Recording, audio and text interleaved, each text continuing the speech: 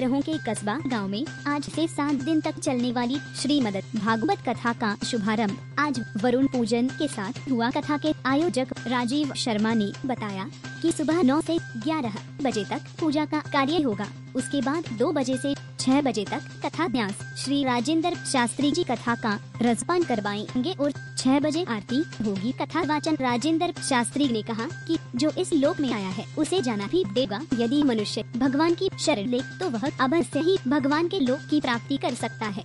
राजेंद्र शास्त्री जी हैं, ये मंडी से हैं और ये सात दिन यहाँ पर साप्ताहिक श्रीमद भागवत कथा करेंगे और ये सुबह पूजा होगी।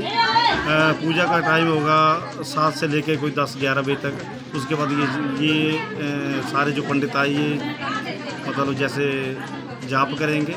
जाप करने के बाद ये जो है सिर्फ़ ढाई बजे भागवत कथा का शुभारंभ करेंगे और छः बजे इसका समापन होगा। महापुराण। अच्छे जीने की राह दिखाता है।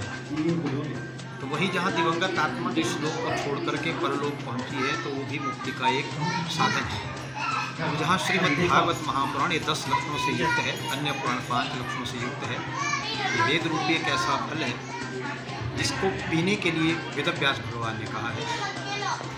तो अच्छे अधर्म के विनाश के लिए ही भगवान युग में प्राकट्य लेते हैं। तो भागवत की विशेषता भी जहाँ श्रीमद् भागवत महापुराण में दसम स्कंद में भगवान श्रीहरि के संपूर्ण अवतार की जहाँ चर्चा की गई है तो परमात्मा ने यही संदेश दिया है कि अधर्म को छोड़ करके धर्म की राह पर जो चलेगा, अवश्य उस पर मेरा वरद हस्त रहेगा। अन्यथा, काल हर एक जीव को अपने मुख की ओर ले रहा है, जो आया है, सो जाएगा ज़रूर।